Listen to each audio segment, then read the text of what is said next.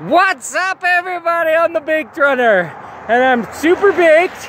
It's Christmas Eve and I'm back even though I already came in and out because I'm so happy and inspired. To all my friends back on Vancouver Island thinking, oh shit, yeah, it's not that cold.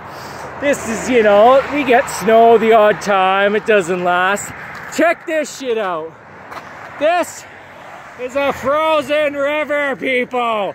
The river is Check that shit out. I am definitely cold, but especially having an excellent time. Merry Christmas. Who knows, I might be back in five minutes, but this is the Baked Runner. Go get you some amazing life. It's here. Stop being a pussy. Get your shit going. Sorry, I'm super baked. Okay, have a great day.